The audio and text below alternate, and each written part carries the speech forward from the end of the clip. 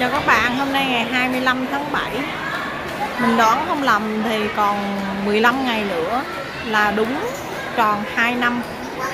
Kể từ ngày ờ, Landmark mở cửa cũng như kể từ ngày công ty Vườn Tường Nhà Phố thực hiện uh, trồng cây đứng tự động tưới tại uh, mỹ phẩm Innisfree của Hàn Quốc.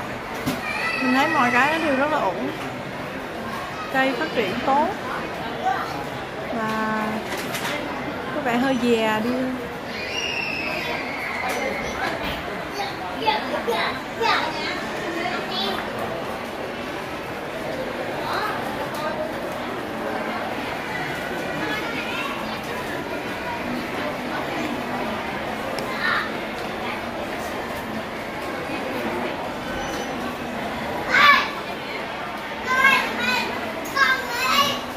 Também